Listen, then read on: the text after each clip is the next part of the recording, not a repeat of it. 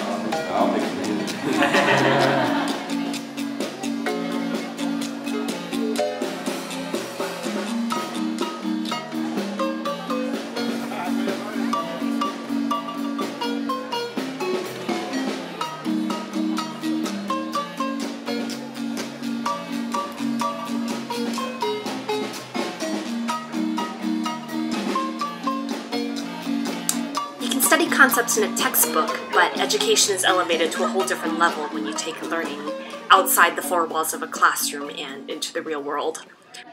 It was a valuable experience for me learning with and learning from my peers. The peers. ecotourism enterprise into two businesses with ah.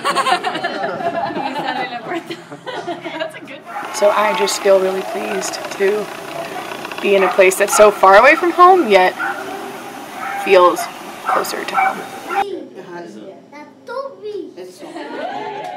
I just feel more relaxed up here with the opportunity to learn, like, yeah, you can make it, and people do do things with less, fewer resources. learning about the history of their mother and their mother's mother who taught them how to make a atole. The people of Oaxaca and Pueblos Mancomunados welcomed us with open arms, um, gave them a sense of pride to showcase to us their culture and the work that they do. And I think it was very refreshing for them that students were traveling from so far away uh, to learn their way of life. I am very interested in corporate responsibility and how industry might exist in a way that protects our world's uh, natural resources. So this visit to Pueblos Mancomunados was especially fruitful for me uh, since we got to learn about their environmental conservation efforts and their regenerative economic system. We did take away so many best practices that I'm already applying back at school. the way that you should approach things is with love because at the end of the day what you have is human connection and i think that that really resonated here especially when we were asking um, like veronica they opened their home they fed us they were able to talk to us and so for me it's just been kind of all encompassing of being welcomed and loved